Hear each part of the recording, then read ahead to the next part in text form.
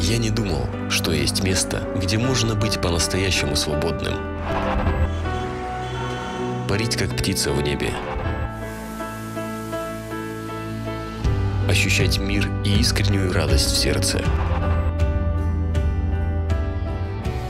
И встречать рассвет с первыми лучами солнца.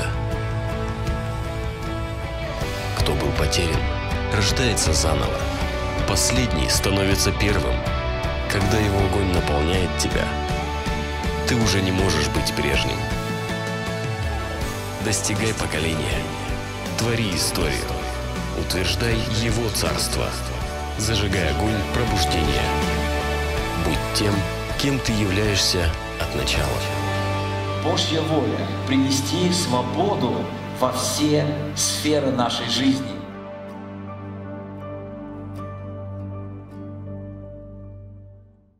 Слава Богу! И сегодня я буду говорить на тему «Честность, качество победителя». Такие, знаете, непростые темы Бог почему-то дает в последнее время. То мы говорили об эгоизме, сейчас мы будем говорить о честности. И это такие темы, которые люди не особо любят слушать. Они любят слушать темы, например, «Бог благослови меня», «Дай мне что-то хорошее, я получу хорошее». Но, вы знаете, когда мы слушаем те темы, которые как бы нам не нравятся, они, наоборот, нам еще более нужны – Скажи на это аминь. Потому что мы говорили, что эгоизм, да, он принес грех, он принес гордость, он принес проклятие, проблемы и так далее. И поэтому Господь пришел, чтобы избавить нас от этого эгоизма. Вообще, Бог пришел для того, чтобы сделать нашу жизнь благословенной. Аллилуйя. И когда мы будем говорить о честности, это, может быть, будет где-то тебя цеплять, где-то будет тебе неприятно. Но не думай, что я хочу там тебя как-то уколоть, что я хочу тебя как-то там осудить, что я хочу там тебе ткнуть там пальцем, когда думаешь, о, это пастор про меня говорит, он, наверное, знает, что это я это делал. И про меня это все будет сказано. Нет, нет, абсолютно нет. Даже когда ты думаешь, что для тебя, я никогда не говорю для кого-то конкретно. Я просто говорю то, что Бог хочет, чтобы я сказал. Вот. Поэтому я не выбираю темы, какая бы тема нам ну, так бы понравилась, какая бы тема нам не понравилась. Я молюсь говорю, Господь, что бы ты хотел, что, что бы ты хотел, чтобы я мог сказать. И когда Бог мне дает какую-то тему, я говорю, хорошо, Господь, я буду ее говорить, я буду ее готовить, потому что не всегда нам нравится, что нам Бог хочет сказать. Но это только в начале, потому что, знаешь, когда людям прописывают какое-то лекарство, оно может быть какое-то горькое, да? Кто, в основном все лекарства горькие, кто заметил? Это только детям придумали сладкие микстуры, чтобы как-то им дать, потому что они дети, они не будут брать. Э, им не хочется будет тогда этого лекарства. Но все лекарства какие-то, они горькие, я заметил. Аж прямо вообще ну, не, не, не хочется, да? Но они что делают? Они дают эффект лечения, они, они нас лечат, они исцеляют. И поэтому иногда слово для нас кажется тоже, О, мне не нравится это слово, мне что-то не хочется, оно какое-то горькое для меня. Но ты знаешь, оно произведет для тебя полезный эффект. Слава Богу, написано, что все Писание богодухновенно и полезно. Оно полезно, да. Может быть, ты будешь морщиться сидеть, может, тебе будет горько, может, тебе будет кисло, я не знаю, но это полезно. И причем написано, что все Писание. Все Писание. Поэтому Бог хочет, чтобы мы не обходили какие-то острые углы, да, не касались каких-то острых тем, потому что, знаете, люди, мы такие деликатные, мы не хотим этого касаться, этого касаться, этого касаться. Но Бог, Он, знаете, Он прямой, Он честный. Слава Богу! И Бог, Он честно нам говорит. И когда Бог говорит честно, тогда ты понимаешь, что да, слава Богу, что Бог мне честно сказал. Все, наверное, знают известную историю про голого короля. Кто знает историю про голого короля? Все знают. Но ну, я все равно напомню. Знаете, суть такова, что а, король любил, когда его все хвалили, да? И все его хвалили, хвалили, хвалили и перехвалили до такой степени, да, что он хотел слышать только похвалу. Ну, все любят слышать похвалу. Кто, кто любит слышать похвалу? Все любят слышать похвалу. Но знаете, иногда похвала, чрезмерная похвала или постоянная похвала, она может даже стать опасной. Потому что когда его приближенные постоянно его хвалили, хвалили, знаете, в один момент, когда на нем ничего не было, они говорили, у вас прекрасный костюм, костюмчик вам идет, все сидит отлично, все прекрасно. И никто не хотел сказать что? Правду. Никто не хотел сказать правду, потому что они думали, о, если они скажут правду королю, то голову отрубят или еще что-то произойдет. Поэтому они все старались ему угодить и говорили только вот только то, что он хотел услышать. И вы знаете, когда он шел по улице, такой довольный, там все хлопали, какой костюм, какой костюм, какой наряд, да. один мальчик сказал, а чего вы все говорите? Ведь король-то голый. И действительно, знаете, это опасно, когда нам никто не говорит правду. Когда нас только, может быть, хвалят, и нам только поют дифирамбы, все-все такое. И это может привести нас к такому же состоянию, что однажды ты увидишь, скажешь, Господи, так что же я из себя представляю, как я выгляжу, срам-то какой, да? Слава Богу, что Бог не такой. Аминь. И я слышал, есть еще такая похожая э, история у китайцев, э, такая похожая история. Э, к власти пришел там один человек, стал он императором, и он тоже решил, решил проверить, э, какие э, подданные будут его хвалить, а какие будут его не, будут хвалить, которые будут его всегда поддерживать, которые не будут поддерживать. Короче говоря, он привел во дворец оленя. Он привел оленя и говорит, это мой лучший конь. Ну, все такие думают, какой конь, какой конь. Говорит, «Э, господин, это не конь, это олень. И он говорит, ну, сделайте пометки, кто сказал, это олень. И вот те, кто сказал конь, они все остались благополучно в его дворце. А все, кто сказал олень, естественно, они не остались. Вот, поэтому Бог не хочет, да, чтобы мы были такими, правда? Бог хочет, потому что Бог хочет, чтобы э, мы знали истину. Истина, что она делает, мы все знаем – она делает нас свободными. Аллилуйя. И поэтому мы говорим сегодня о честности, да, потому что в Писании честность, она выражается словами и честность, и правда, и искренность, да. Вот поэтому есть синонимы э, этого слова, и мы должны знать, что для Бога это очень и очень важно. Поэтому сегодня мы будем об этом говорить, почему это так важно для Бога. Смотрите, что э, первое место Писания, которое хочу сегодня привести в пример, это Римлянам, э, первая глава, 16 по 18 стих. Здесь так написано, «Ибо я не стыжусь благовествования Христова, потому что оно есть сила Божья ко спасению – всякому верующему, во-первых, идею, потом Эллину, в нем, в чем в нем, да, в благовествовании, в Евангелии открывается правда Божья. То есть само Евангелие, что уже? Это уже правда. Понимаете, написано, правда в чем открывается? В благовествовании. А в нем открывается правда Божья. Правда о чем? Правда о Боге, правда о дьяволе и правда о нас. Правда или нет? Слава Богу, написано от веры веры, как написано, праведный верою жив будет. То есть наша вера, она основана на правде Божьей, правда? Вот почему так многим трудно поверить, они не привыкли верить, они ну, всегда их обманывают, везде их обманывают. И когда они слышат правду, они говорят, да этого не может быть, да этого не может быть.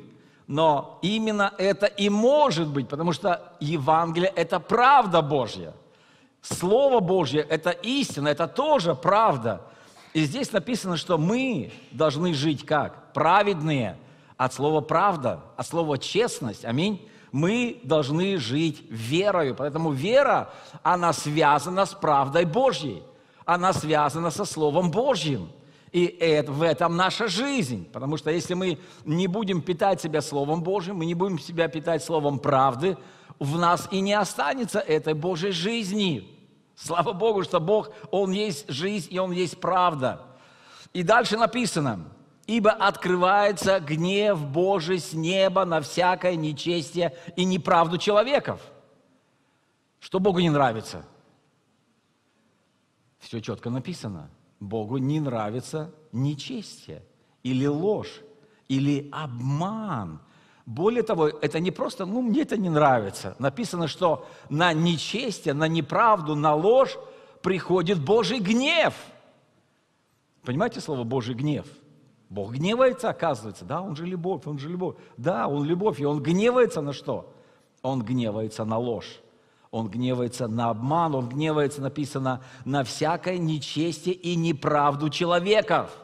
Поэтому, когда мы где-то еще по старой привычке обманываем, что вы думаете, Бог об этом думает? Он гневается на тебя. Или он говорит, ну ничего, ничего, ври дальше, ври, ври, ври.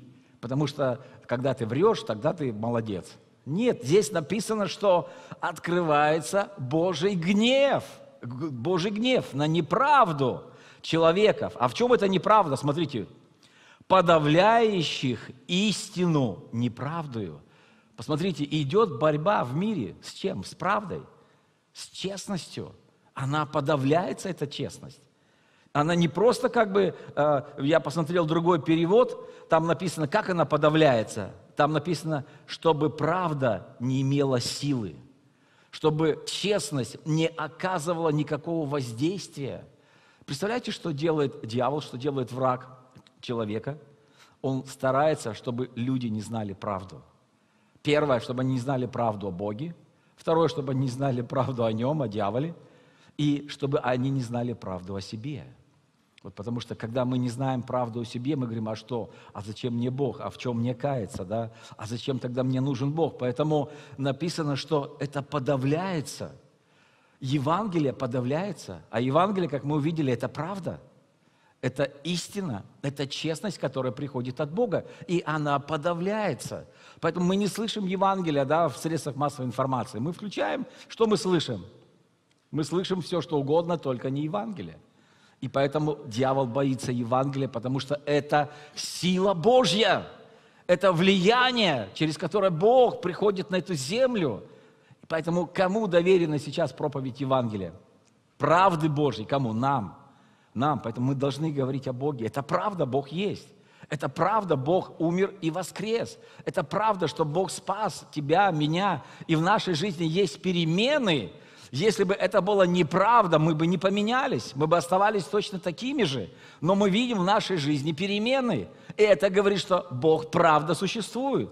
Слово Божье правда работает. И поэтому враг старается остановить влияние правды, влияние истины. Почему? Написано, подавляющих истину. Истина подавляется, друзья. А кто будет стоять за истину? Только мы можем стоять за истину. Больше никто не будет стоять за истину, потому что Бог нам дал Евангелие. Он же нам сказал, идите и проповедуйте. Бог нам доверил это. Поэтому если мы не будем этого делать, то что? Неправда, она будет поглощать людей. И они не узнают правду. Ведь как долго вы и я в свое время мы сопротивлялись правде. Даже когда мы слышали правду о Боге, когда мы слышали правду о том, что Иисус умер и воскрес, мы не верили в эту правду.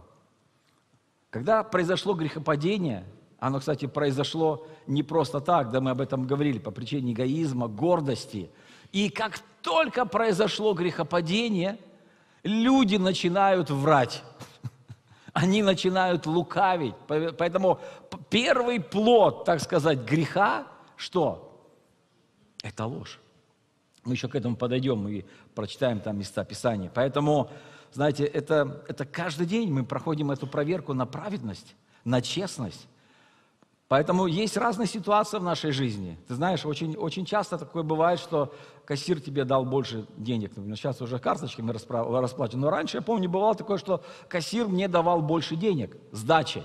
И я могу сказать, о, слава Богу, Бог меня благословил. Нет, я говорил, извините, это, это не мое, мне не нужно чужое. Вы проверьте, вы посчитайте. И это было не один раз, знаете, и кассиры очень удивлялись. Они говорили, о, спасибо, спасибо, что вот вы вот так поступили. И поэтому, конечно, это, это не просто какие-то красивые, правильные слова. Это то, что происходит в нашей жизни. Действительно, мы живем честной жизнью, праведной жизнью или нечестной. Потому что мир пытается подав, подавлять, как написано да, в послании к римлянам. Он подавляет эту правду чем? Нечестием. Поэтому Конечно, в этом мире мы понимаем, что э, где правит враг, там правит ложь, там правит неправда, нечестность. И знаете, а, многие люди настолько уже привыкли порой врать, что они даже не отличают, врут они или не врут. Они всегда просто привыкли врать. Но интересно, я всегда, помимо того, что я читаю Слово Божие, я еще читаю об этой теме, что говорят другие люди. И знаете, я читаю, что говорят врачи или также психологи. Вы знаете, интересно, психологи говорят, что люди, которые врут, они больше болеют. Э, это не просто как бы, вот, знаете, вот, э, это доказанный факт. Почему они больше вору, э, болеют? Потому что, говорит, когда человек врет, ему надо больше напрягаться. Вот когда он врет, ему же надо как-то придумать что-то, соврать как-то, да, как-то убедить там.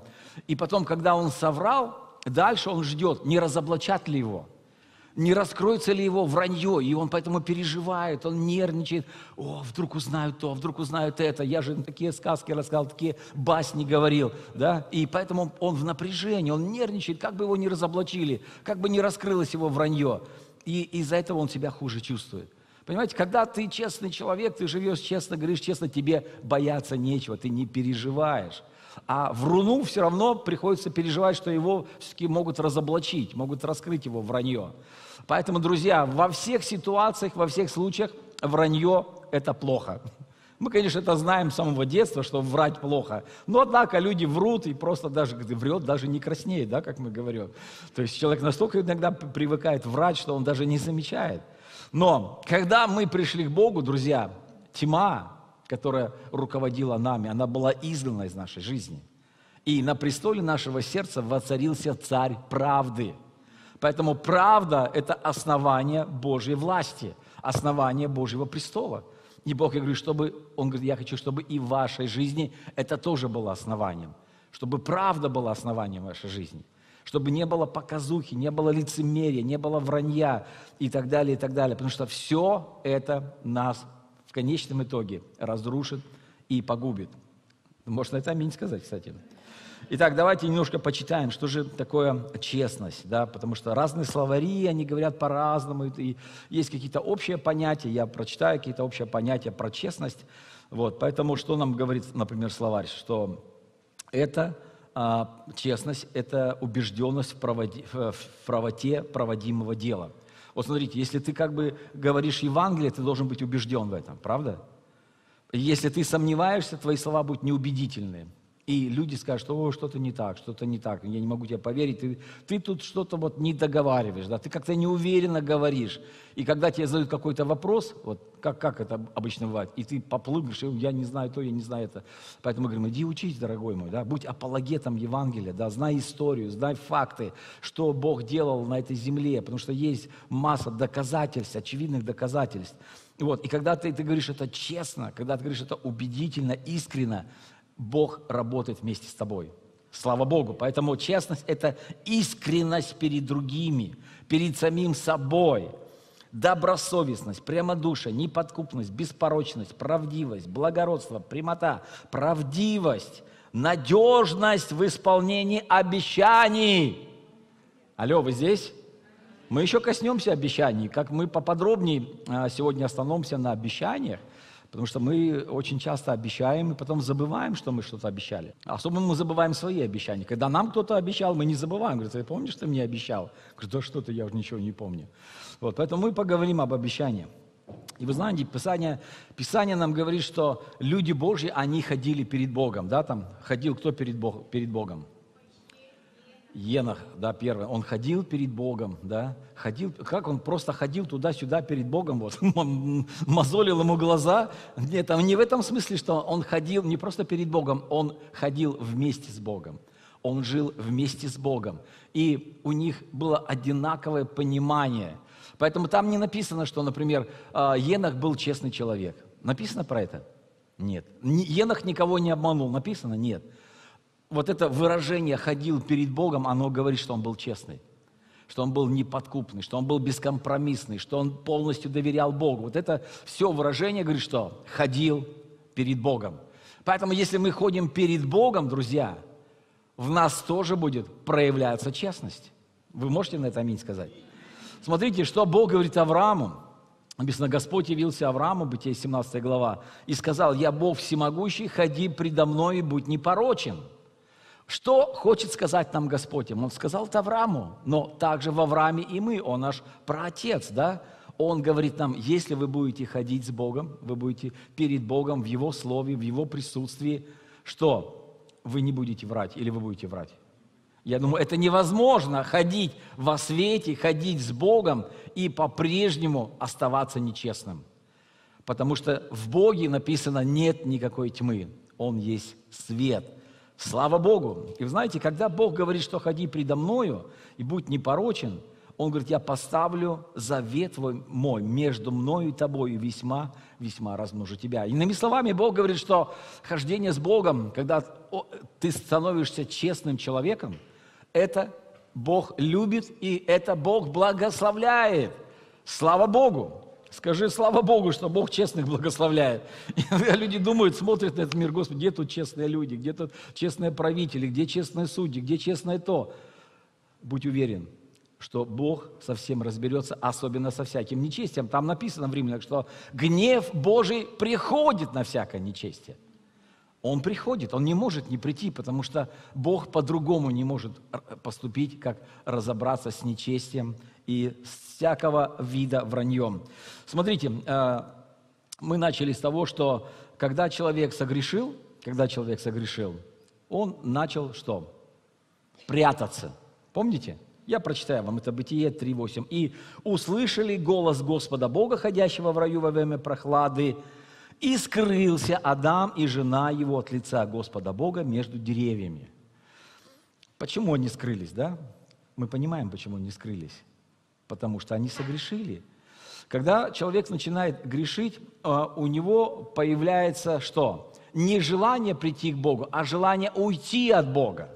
Желание спрятаться, желание скрыться. Вот, вот что двигает этим человеком. Поэтому, когда тебе не хочется идти к Богу, не хочется идти в церковь, не хочется молиться, не хочется читать Библию, просто подумай, какая причина, почему тебе не хочется. И здесь мы понимаем, почему они не хотели. Они услышали голос Бога. Раньше они бежали к Нему, да? Папа пришел, слава Богу, они все бежали к Нему, Адам с Евой быстрее. В этот раз они услышали, и что? Они стали прятаться. Они стали прятаться. И сказал Бог, кто сказал тебе, так, так, так, так, что ты наг, да, не ел ли ты из дерева, которое я запретил тебе есть? Адам сказал, жена, которую ты дал мне, она дала мне от дерева, я ел. Смотрите, здесь это первое вранье. Первое вранье Адама, которое зафиксировано в Библии, да? Он его спрашивает, ты ел или не ел? Он ему что, честно говорит, жена. Понимаете, начинается что? Лукавство лукавство. Вот просто мы об этом говорим, потому что мы должны понять, откуда пришло, пришла ложь, откуда пришло лукавство. Оно пришло с грехопадением. Они заразились грехом, да? они получили этот вирус от дьявола. Его также зовут, как еще, лукавый. Лукавый. И слово лукавый, это именно означает хитрость, обман, обольщение. Потому что у дьявола есть разные имена, они имеют разное значение. Например, имя сатана – это противник. Да, имя дьявол – у, него есть вот эти вот как бы такие разновидности, и каждое имя о чем-то говорит. Вот именно лукавый говорит о его обмане, о его лжи, о его хитрости. И смотрите, как они стали изворачиваться, да? Детка на бабку, бабка на внучку, внучка на жучку. И, короче, виноват змей оказался, да? То есть люди, когда они живут в грехе, они не хотят быть честными – они не хотят признавать свои ошибки, не хотят, не хотят признавать свою вину. Они хотят что? Выгородить себя. То есть кого-то другого обвинить, на кого-то другого переложить свою ответственность, свою вину. И это все нечестно, правда? Ведь честно сказать, я виноват, Господи, да, это я сделал, я жрал, я не послушался, я так сделал.